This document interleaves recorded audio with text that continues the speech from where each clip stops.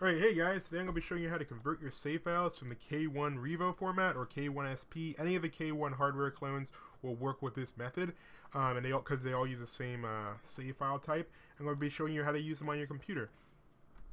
This is a very simple process, but the first time I'm going to go through it, I'm going to pretty much explain everything so you'll have a thorough understanding. But once you get this um, down packed, it should only take you a couple of seconds to actually um, be able to repeat. So converting a bunch of save files is pretty easy. I believe you can drag and drop multiple of them uh, using this method, or maybe just one. I don't know if you do multiple. Anyway, it's really easy to do. The first thing you'll need is Visual Boy Advanced. I'm going to use VBAM since it was working better in my testing. Uh, just click this green button to download it. I'll have a link below. Um, you'll also need uh, Save File Trimmer. I'll suggest using this one. There'll be a link below too. And yes, I did uh, scan this with a virus scanner. Um, like 99% of the things said it was virus free. This one I've never even heard of said it was a Trojan, but it does have to edit the um, individual information of separate files uh, on your computer. So I guess that would make sense for it to say that. Anyway, I'm using this on my main computer. If I get any virus detections or anything weird happens, I'll let you guys know. Alright, so the first thing you'll need to do is have a new folder open. I have this folder where we dragged and dropped our um, our GBA file and our ROM. You need, sorry, our ROM and our save file. You need both. Next, we will need our VBA or any GBA emulator. I just say use VBA. So load that up in there. And also we'll have our trimmer that we downloaded. So let's drag and drop that in here. now normally if you were to just drag and drop your um, save file from your Revo 101 and try to load up your game, this is what will happen. You load this up, throw um, Mega Man Battle 3 in.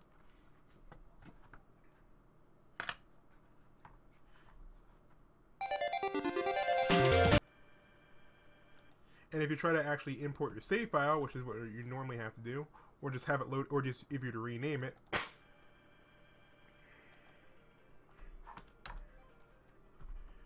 no save file. So that is certainly a problem because that means that you can't use your save file on your computer. Well, it's easy to change, but before we go in, I'm just going to put this out there. I do not support piracy on my channel. Go out and actually buy your games. See here I have Battle Network 3 for you, and I have the actual cartridge in it too. So I ripped this myself. I dumped it myself. Um, I even patched it myself. I'm using the Battle Network 3 patch that lets you get the um, content like the jack-in screen that was removed in the US version of the game because we can't have nice things. Anyway, so you have your save file right here. Uh, whatever it's named, it, it will probably be .gba.save. So just drag and drop it onto your trimmer. Uh, just, you can say you don't have to ask every time. It says this every time you download any file. Alright, so now save type. Um, I believe Visual Boy Advance, at least, only seems to like um, 64 kilobyte saves for uh, this. Uh, if you're using a different game, like maybe Pokemon or something, you may have a bigger save type. You can go online, and if you have any questions about uh, something that's not covered, or a different type of game that's not Mega Man or Pokemon or something, go online and ask what save type Visual Boy Advance uses for a specific game. Uh, I'm thinking it will probably just be 64. I've already tested it, so I'm just typing in 64 megabyte, uh, 64 kilobytes.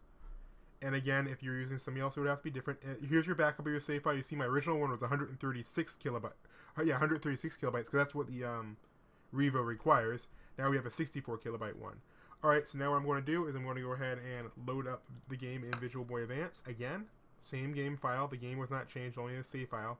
We have a backup of our old save file just in case we did something wrong. Alright, so here's our game thing loaded up. And if it asks you if you want to update, just say no. You don't need the update. Alright, and if you click here, still can't read our save file. But that's not a problem. Just uh, go ahead and back out. Uh, next thing you want to do is import battery file. And now we want to import the new trimmed save file. It says it will overwrite any save games. That's fine. Now when we go to the menu menu screen, if you were in a new game screen, you'll have to back out and go back to the main menu. From your new menu screen, uh, hold on. Let's just try this again. You may, it may be better just to um, do it before you're even in the menu screen. Let's try that. Alright, so when you're not in the menu screen, import battery file. And then say yes, overwrite. And then we get our new game. There we go. Alright, so just make sure you're not in the menu screen, because I think when you're in the menu screen for most games, it's already loaded to save information. And here we go. We're actually in the game. This is where I left off on the um, Revo 101. So now all we have to do is just save in-game.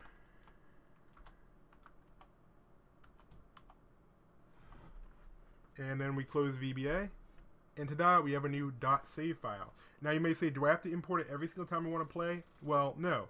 Ever since you uh, saved with uh, Visual Boy Advance, your 64 kilobyte file has now been converted by Visual Boy Advance to a file that's 32 kilobytes, aka the correct size for the game.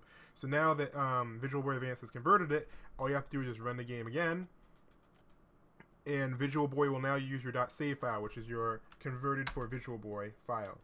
So click here, continue, and I'm right back where I was before. I could even delete this old .gba.save file at 64 kilobytes. That's fine. I can delete that because it's now using this one. So now you should be able to load this up in just about any emulator. Um, I'm not going to test any other ones right now. I'm trying to keep this video relatively short. But there you go. So now your file is converted. If you want to convert it back, um, you can just watch my old video again that shows you how to convert your um, Visual Boy Advanced save files to uh, K1 save file, then it's dumped back on there. Overall, it's kind of annoying that you have to actually patch the save files, but I mean, considering how good the compatibility is versus some other hardware clones, I'd say it's pretty well worth it.